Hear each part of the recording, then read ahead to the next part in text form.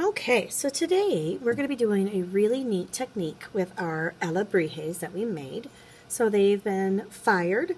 Um, they go in as clay, and once you do the first fire in the kiln, it's now called bisqueware. Um, it's a type of ceramic, and what it means is that it's, you know, it's not painted, it's not glazed, um, or any of the other things to finish it yet. So um, what we're going to do is a really neat technique where we're going to use oil pastels and then we're going to do a watercolor wash over it. Now I know we're familiar with oil pastels. Our oil pastels, you know, I've got them in three bowls. I've got our cool colors. I have our neutrals, which are the white, the black, and the um, brown. And then I also have the uh, warm colors.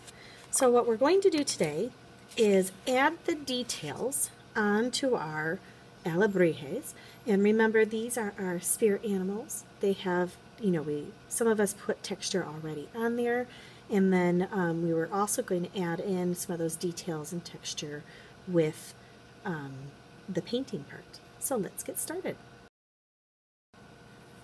Alright, so the first thing I'm looking at mine, and I love to have um, the cool colors. It just makes me really happy.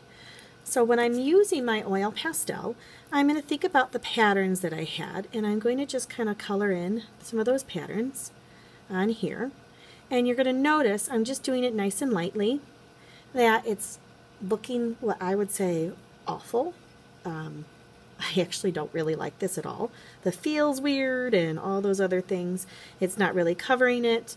That's part of um, using this, oops, as I hit my camera, that's part of using an oil pastel. So there were times that I felt, oh, I really want to quit because I really don't like how this is looking. And that's okay to feel that way because once we do this last part, it's really neat. So I'm just going to take colors and you can blend colors over colors. Um, I'm just going to kind of mix them do some of that fun stuff. Edges here. Give it some of the patterns that I'm looking for. Maybe I want some greens in a couple areas. Going through like that. Okay. And like I said, you're going to look at it and go, yuck. I have a paper towel if you want to blend any of the colors together using that instead of your finger.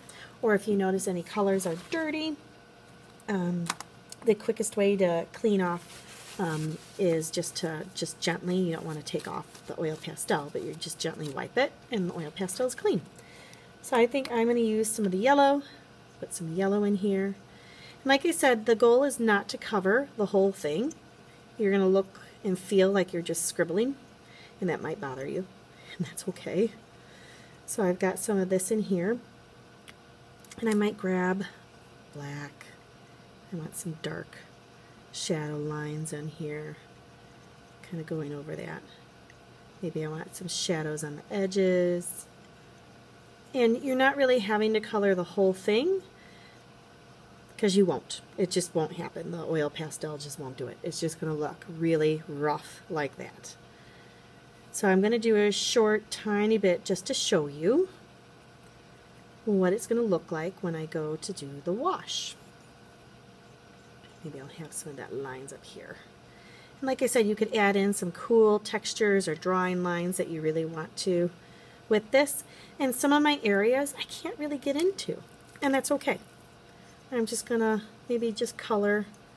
Like I said, it's not a lot of time, but I'm just going to color with the oil pastel might get on the back of my squirrel. You might feel like you're ruining it or don't like it and are like, why am I doing this? Like I said, all those things have gone through my own head, but I know what the results are like, so trust me. Okay, so I might just do a cool design back here.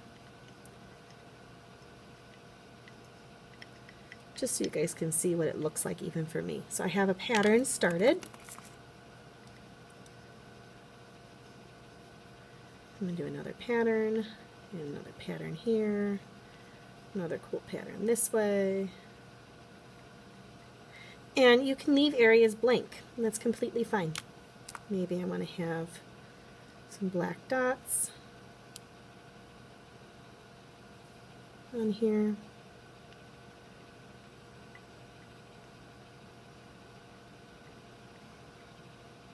Okay, so now I've done my squirrel's tail.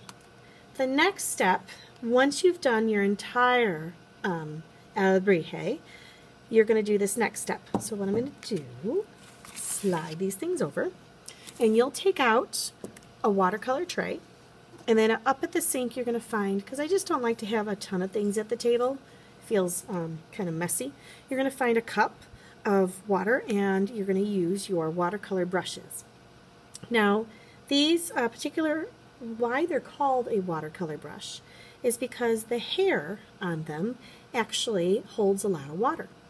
So when you use watercolor, you can get watercolor three different ways. You can get it in a palette like this. You can get it in already liquid down watercolor called liquid watercolor.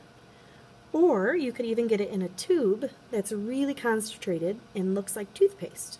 And what you would do is squeeze it out like a tiny, tiny amount, and then you get it really wet, and you could even have an entire bowl of just that one color, because that's how concentrated it is.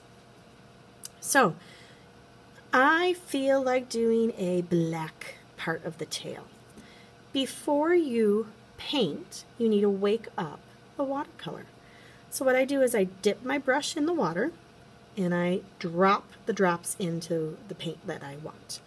Now you can already see me touching my brush, barely touch that black, and already I've got black touching in my water.